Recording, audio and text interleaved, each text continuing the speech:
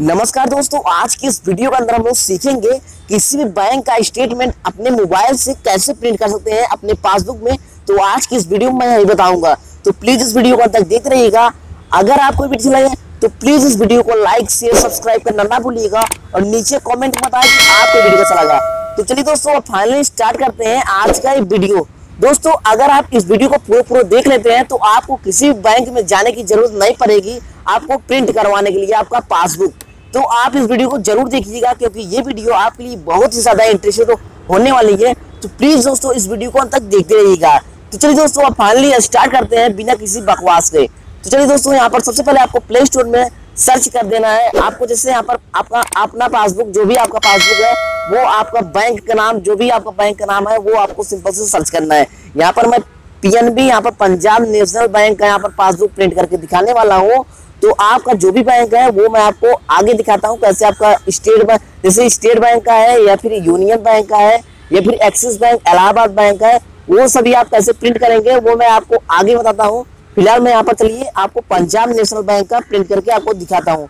तो आपको सबसे पहले सर्च करना है यहाँ पर। प्ले स्टोर में आपको सर्च करना है पंजाब एम पासबुक जैसे यहाँ पर सर्च करके देख सकते हैं, यहाँ पर सर्च कर लिया है।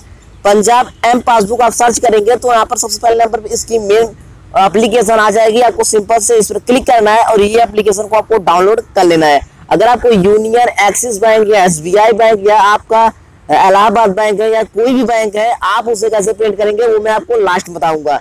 तो यहाँ पर सबसे पहले इस एप्लीकेशन को ओपन कर लेंगे। इंस्टॉल करने के बाद आपको ओपन कर लेना है। ओपन करने के बाद कुछ इस प्रकार से इंटरफेस देखने को मिल जाएगा। यहाँ पर आपको सबसे पहले आपको लैंग्वेज अपना चूज़ करना है। हिंदी में आपको प्रिंट करना है इंग्लिश प्रिंट करना है। तो यहाँ पर सबसे पहले मैं इंग्लिश चूज़ कर लेता हूँ। इसके बाद आपको सिंपल से प्रोसीड पर क्लिक कर देना है और आपको अपना कस्टमर आईडी डालना है। यहाँ पर कस्टमर आईडी आपको कहाँ से मिलेगा, वो मैं आपको बता देता हूँ। यहाँ पर सबसे पहले आपको, अगर कस्टमर आईडी आपके पासबुक में नहीं है तो आपको शाखा से जाकर ब्रांच से जाकर आपको कस्टमर आईडी लेना होगा। या फिर आपके पासबुक में पहले ही नंबर पर, पहले ही पेज में आपको पासबुक कस्टमर आईडी मिल जाता है। वहाँ से आप सिंपल से यहाँ पर डाल सकते हैं। तो यहाँ पर अपना कस्टमर आईडी डालते हैं।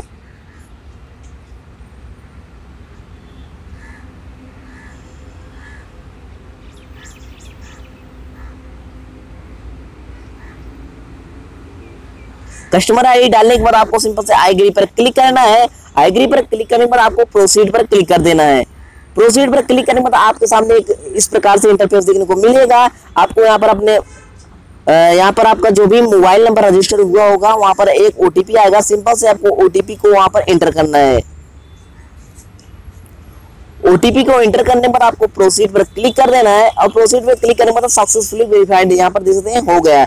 अब आपको अपना एम पिन बनाना होगा एक। यहाँ पर मैं एम पिन बना लेता हूँ। इसके बाद आपको एम पिन बनाने के बाद जो भी आपका एम पिन बनाना हो, वो आपको याद रहे ताकि आप उसे आप आसानी से डाल पाए। यहाँ पर एम पिन बनाने के लिए आपको सिंपल से सक्सेसफुली हो चुका है। इसके बाद आपको अपना एम पिन जो बनाए हैं, वहाँ पर सिंपल से एंटर कर देंगे। इसके बाद प्रोसीड पर क्लिक कर देंगे। प्रोसीड पर आपके सामने कुछ इस प्रकार से देखने को इंटरफेस मिल जाएगा।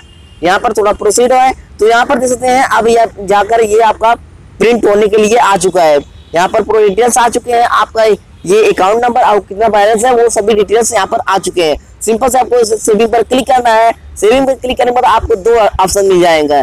यहाँ पर आपको सबसे पहले यहाँ पर ऑप्शन मिल जाएगा मिनी स्टेटमेंट अगर आप मिनी स्टेटमेंट निकालना चाहते हैं तो ये एक महीने का स्टेटमेंट है, आप यहाँ से निकाल सकते हैं। यहाँ पर इसे प्रिंट भी कर सकते हैं। और यहाँ पर अगर आप पूरे पूरे जैसे पूरा स्टेटमेंट निकाल सकते हैं, जैसे एक महीने का एक साल का एक दो साल का, तीन साल का, जितना भी आप पूरा फुल डिटेल्स निकालना चाहते हैं तो यहाँ पर सिंपल से क्लिक करेंगे डिटेल्स स्टेटमेंट पर। आपको स्टेटमेंट क्लिक करेंगे तो यहाँ पर देख सकते हैं पूरी डिटेल्स आ चुका है। अब आपको प्रिंट कैसे करना है मैं आपको बताता हूँ। यहाँ पर प्रिंट करने के लिए आपको सिर्फ़ यहाँ पर डाउनलोड का ऑप्शन मिल जाएगा यहाँ पर आपको डाउनलोड कर लेना है। आपको यहाँ पर अलाउ करके आपको यहाँ पर डाउनलोड कर लेना है। डाउनलोड करने के बाद ओपन कर लेना है। ओपन करने के बाद आपको अपना जो भी आपका अकाउंट नंबर है वहाँ पर सिंपल से यहाँ पर पेस्ट डाउनलोड करके उसे पेस्ट कर देंगे और यहाँ पर आपका ये ओपन हो जाएगी। देख सकते हैं पूरे स्टेटमेंट आपका यहाँ पर आ चुका है। आपको सिंपल से प्रिंट करने के लिए आपको यहाँ पर थ्री डॉट पर क्लिक करना है और यहाँ पर प्रिंट का ऑप्शन मिल जाता है। आपको प्रिंट करके यहाँ पर प्रिंट कर लेना है। ये देख सकते हैं आपको। ये प्रिंट कर सकते हैं अपने पासबुक में। इस प्रकार से आप आसानी से प्रिंट कर पाएँगे। या फिर आप इसे डाउनलोड करके आप सेव कर सकते हैं गूगल ड्राइव में भी। इसे सेव भी कर सकते हैं। फ़िलहाल यहाँ पर सेव नहीं करने वाला हूँ। आपको प्रिंट करने की बात कर रहा था। तो प्रिंट यहाँ पर आप आसानी से थ्री डॉट पर क्लिक करेंगे और यहाँ पर प्रिंट करके ऑप्शन मिल जाएगा। आपको यहाँ पर प्रिंट कर लेने हैं। तो इस प्रकार से आप इसे स्टेटमेंट को निकाल सकते हैं पासबुक में और यहाँ पर चलिए आपको दिखाते हैं कैसे आपको सभी बैंक का करना है, वो मैं आपको दिखाता हूँ। सबसे पहले आपको अपना प्ले स्टोर ओपन करना है। प्ले स्टोर में ओपन करने पर आपको सभी का यहाँ पर जैसे यूबीआई यूनियन बैंक का करना है तो यू एम पासबुक यहाँ पर क्लिक करेंगे तो ये एप्लीकेशन आ जाएगी। यहाँ पर देखते हैं, पहले नंबर पे ये एप्लीकेशन आ जाए अगर आपको एस बी आई का करना है एस बी आई इसके बाद एम पासबुक ये करेंगे तो इसका एप्लीकेशन भी आ चुका है। अब आपको, जैसे आपको एक्सिस बैंक का करना है एक्सिस एम पासबुक ओके ये आप लिखेंगे पहले एम पासबुक तभी ये एप्लीकेशन आएगा। तो एम पासबुक ज़रूर लिखना है, तभी ये एप्लीकेशन आएगा, नहीं तो उसकी मेन मेन एप्लीकेशन जो होती है, वो आ जाएगा। तो यहाँ पर ये एक्सिस बैंक का एप्लीकेशन आपको मिल जाएगा। तो इस प्रकार से आप ऐसे स्टेटमेंट आप आसानी से निकाल पाएँगे। तो अगर आपको कुछ भी दिक्कत होती है तो नीचे कमेंट करके मैं उसको रिप्लाई करूँगा। अगर वो वीडियो नहीं बनी रहेगा तो उसको वीडियो भी बना दूँगा। तो दोस्तों, आज की इस वीडियो में बस नहीं अगर आपको वीडियो चला है तो प्लीज़ इस वीडियो को लाइक शेयर सब्सक्राइब करना ना भूलिएगा और नीचे कॉमेंट कर ज़रूर बताएँ कि आपको वीडियो कैसा लगा। तो चलिए दोस्तों, मिलते हैं नई वीडियो में। जय हिंद, वंदे मातरम।